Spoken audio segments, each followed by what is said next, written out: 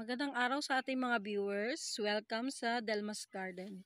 So, ngayong araw po, ang topic natin ay kung paano natin i-identify ang pagkakaiba ng daing ampon sa cherry red.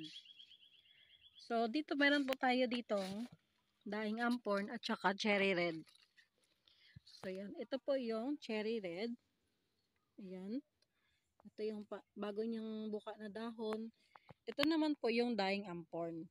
So, ganyan po. Dahil bago po siyang buka, ganyan po siya. Ma, medyo malambot pa. Yan.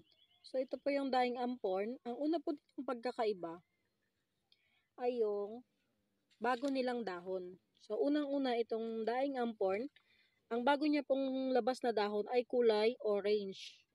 Mo orange-orange po yan siya. Samantalang po sa cherry red ay pula. Or malapit na po sa pagka uh, basta pula po siya. Matingkad na ano na pagka red. Ayan, super pula. Ganda po, 'di ba? So ito naman yung old ang ano naman nila, ang likod naman nila ng kanya ng cherry red ay ganyan, mapula. Yan. Ito rin, meron siyang lining na pula sa likod. So, titingnan naman natin ngayon yung dying ampon. Ayan, yung old leaf ng dying ampon ay ma-brown. Ayan, ma-brown. Samantalang yung cherry red ay green lang po na may may pulang lining dito sa gitna. Yung kanyang gitna. Samantalang yung daing ampon, ma-brown po siya. Ayan. May touch of brown po. Ganyan po ang pagkakaiba nila. So, kasi marami po nalilito kung ano po yung pagkakaibang nilang dalawa. So, titignan po natin ng malapitan. Ayan. Magkaibang magkaiba po si daing ampon.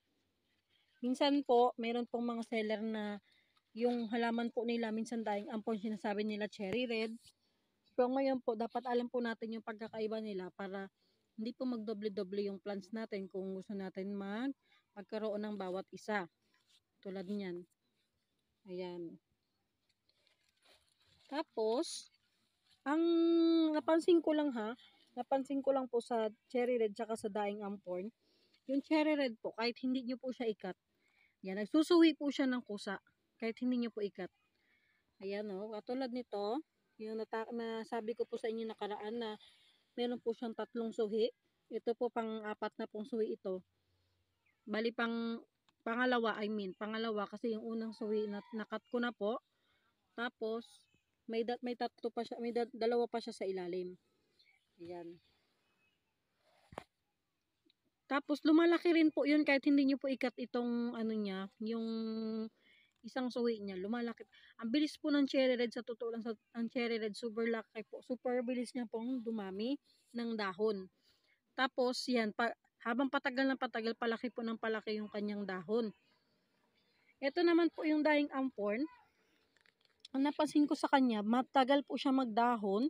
Matagal po siya magdahon.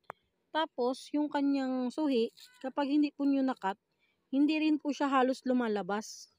Ayan, mag ano lang po siya, mag-ugat lang siya ng panibago katulad nito. Magpapanibago lang po siya ng ugat.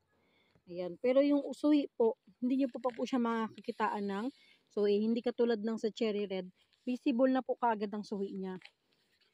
So, yun po ang napansin ko sa aking mga cherry red. At yun din po ang talagang pagkakaiba din po nila. So, ayan po. Sa mga nalilito po sa kanila, Basta, maganda rin naman po talaga ang daing ampon. Yun nga lang ito kasi, ba sabi ko sa inyo, siya po ay nabagyo. Tapos, yun nga, lo, ano siya, ah, uh, imported plant po yan siya. So, yun lang po. Ay. So, yun lamang po sa araw na ito, ang ating, ang ating, uh, ituturo. So, sana po may natutunan kayo sa aking video. So, kung nagustuhan nyo po ang video na ito, huwag kalimutan mag-like, comment, and subscribe. At i-click nyo na rin ang notification bell para updated kayo sa ating susunod na mga video. So, maraming salamat po.